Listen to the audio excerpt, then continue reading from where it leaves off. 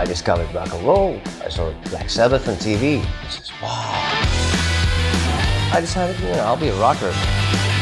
Extremely talented, very enthusiastic. Energy, pure energy. The ideal frontman.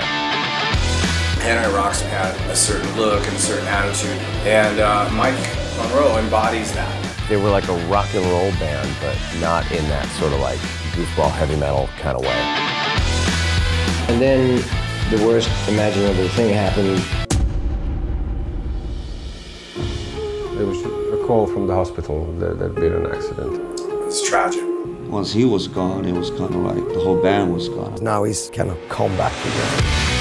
He's been sticking to his guns and putting out great shit this whole time. Today it's a Hollywood fucking story. As long as I'm alive, rock and roll is alive and well.